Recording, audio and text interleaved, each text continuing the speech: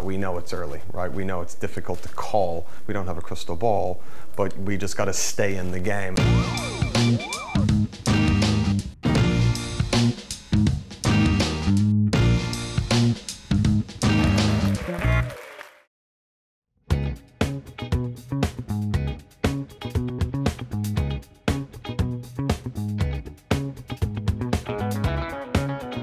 We are going to down to see Tim and the Ikigai's.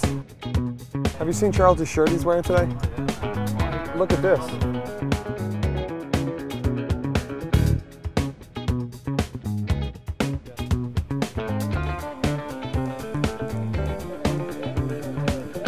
Hey guys, how are you?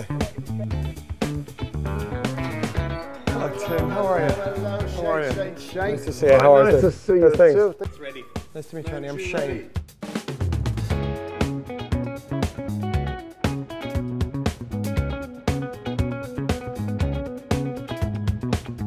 You know, I'm you know very pro a lot of decentralized exchanges. It'll be interesting to see how institutions treat it, right? Because institutions want to know who the counterparty is, right? They want to make sure that there's no counterparty risk, and also they want to do AML and KYC, right? They want to know who's on the other side of that trade, right? If it's like, yeah, you don't know, it's going to be difficult. I mean, when you look at dark pool liquidity and how that's changed, it's all come from a centralized space. There'll be a dark pool, but something like a Liquidnet, you're still dealing with a regulated entity, and in order to get signed off on from compliance and regulatory, that kind of makes them feel good. But uh, I think that it's not that people aren't willing to do it, although there's no framework, they are certainly engaging and they want to learn and they want to know. And I think when you look back at the start of 2017, total market capitalization combined was 20 billion. By the end of 2017, it was 800 billion. That caught a lot of people off, including the major institutions and the regulator. Well, I think now what we're starting to see, certainly in London, is we're starting to see uh, you know, a very big change from the ICO now rolling over into the STO. Yeah. And a lot of people that are approaching us um, have looked at the STO model, which, which needs to have more of a regulatory framework around it, or needs to certainly be approached like it's a security. I'm Shane Kehoe. Yeah, nice, Nice to meet you. How are you? Nice to meet you guys. Hey Hugh, how are you guys? He's our, he's our CIO. We lead our organization in a way to where it's not only institutionally compliant, but it's done with uh, the ethics that we think are required to shepherd this technology. The technology, as you know, is so powerful, and the opportunities that this technology can provide can either do amazing things for humanity or could hinder and enslave humanity like never before. So making sure that when we operate, we operate with people of ethics and that have that understanding of the technology and the power is important to us. And your relationship and Travis's relationship, how far do you go, go back? How did you get to know each Six other? years. Six years. Yeah. Okay. Knew, knew him in Chicago, and Chicago's a, a fun, uh, fun city. Both of us have. Uh, Were you working with personalities- Soc Gen at that time, or I where were you? was, yeah.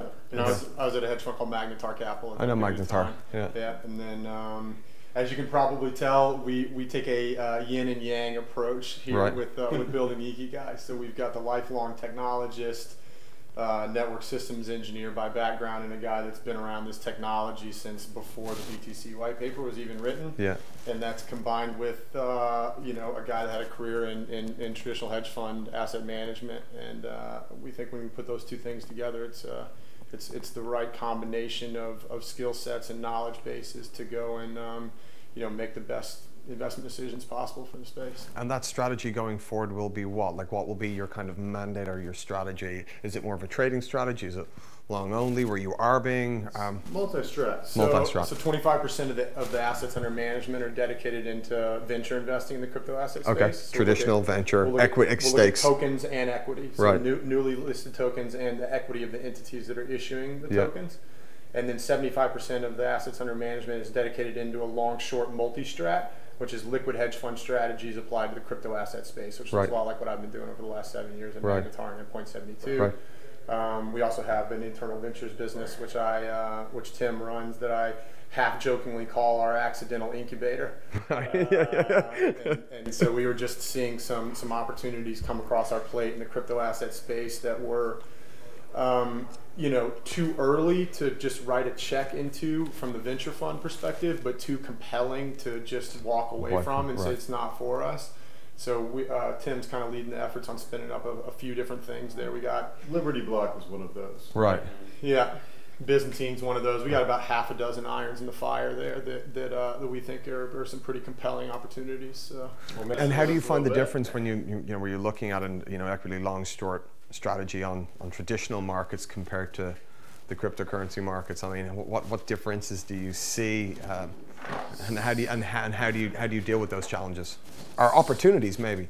So the so the infrastructure is drastically different, right? That's that, that's kind of one of the first things, right? Is just uh, the types of things that you just take for granted working at a, a world class hedge funds in, in terms of uh, the tr- the trading infrastructure, the the uh, portfolio management, something as simple as just having a Bloomberg terminal that's got every sure. every piece of data that you would ever need. Yeah. You've got All a whole markets. ecosystem of equity sell side research yeah. that's providing you know pointed thoughts and, and, and, and, observations about the asset class that you're looking at.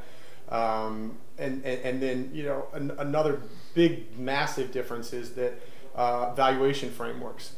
And uh, uh, you know, for the S and P 500, we've been looking at price to earnings ratio for yeah. going on 100 years, years now, right? right? Um, and uh, like I, I, tell people, so I, I, my career was focused in energy investing, energy yeah. equities investing. Yeah.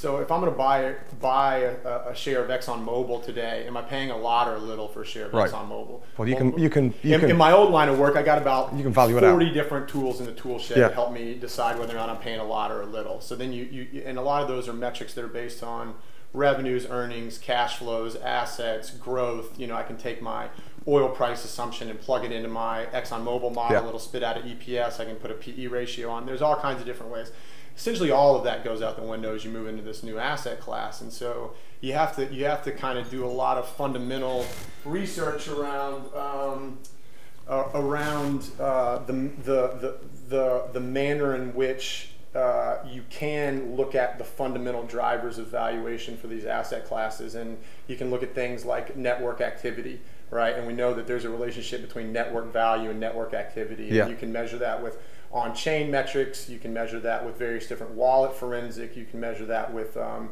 uh, community vibrancy metrics, like like uh, things that are going on in GitHub. Yeah. You can measure that with um, uh, uh, uh sentiment analysis, natural language processing, because you know one of the really interesting things about uh, this space relative to traditional hedge fund investing is that smart people talk out loud about what they like and what they yeah. don't like in this asset class, and yeah. that that that, that opens up for a whole bunch of interesting possibilities. And that will develop, right, as well. All, all, all those critical points, right, they will develop as the space matures, right? Yeah. After we start to see adoption, or after start to we see revenue, or we start to see some other framework that we can attach a valuation to, right? Yeah, uh, we, are developing a lot right. of those tools. I was going to say, we, we, we like to think we're kind of at the bleeding edge right. of, of understanding um, uh, this highly dynamic sort of uh, uh, framework of, of how do we value these things. It's an incredibly uh, foundational question that has not been answered in this ecosystem. I can tell you for sure that our understanding of value accrual in crypto assets today is drastically different than it was a year yeah. ago. And a year before that, it was essentially non-existent. right? Yeah, and so you, you you know you posit that against like the Intelligent Investor, Benjamin Graham, that was written in the late 30s, I think, yeah. and is still one of the most so relevant. seminal books yeah. on, on equity investing, investing, ever. Right. So that's exciting. Right. Yeah, that's exciting. I think it's the opportunity that we realize, right, and uh, and that's what that's what excites us is that we know it's early, right? We know it's difficult to call. We don't have a crystal ball, but we just got to stay in the game, and everything that we're looking for, all those points, all those data points, all those projects, all those companies that will start to use maybe even just a small set, five or 10% of their business onto the blockchain and how that starts to roll out. I mean, when you're got the opportunity to see it right from inception point, right? Yeah. And I'm, I'm talking about as early as you were looking at the mining side of it. I'm talking about when you look at the inception point of institutional capital now and have been looking at the space for a year, but still very much not involved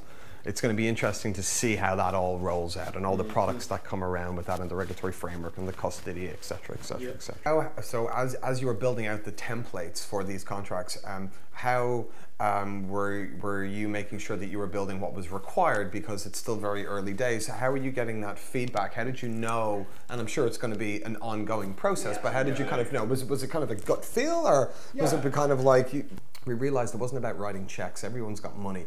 It's about actually bringing something else to the table and we realized that community was power so from that inception charles joined us oliver joined us we now have a team of nine we got mark delasalle who's an older guy from Accenture, who's come on with a, a wealth of knowledge. I'm from the CRM business. We've hired several other blockchain analysts. We've got loads of different advisors who've worked at you know, NuVista for private banking and now also on the tech side.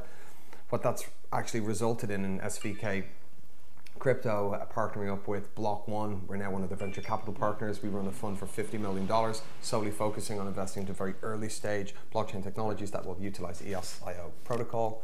Um, we're really happy with, with where we are, but we realize that we're only really getting started. This is the first fund that we've done. And uh, since that inception point, we've continued to build the largest monthly meetups in London. We had 500 people rock about our last meetup. You were at our meetup before. We run a daily podcast, which Charles does every day, which you're all going to be on later, by the way. Uh, we have Marco, who does all our filming, creates content.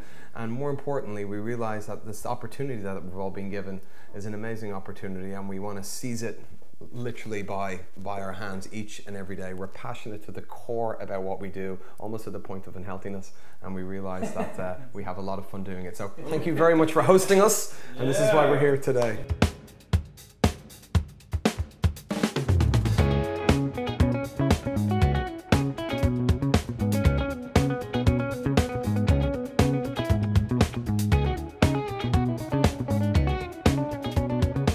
Hey Rami, how's it going? I'm Shane from SVK Crypto. How are you, buddy? Are you well? Hey, you, feel, up, you feeling good? Hi, David. Hey, how are you, David? How's it going? I'm Shane. Shane, nice to meet you. What's the story? You well? I'm doing pretty good, yeah. Cool, man.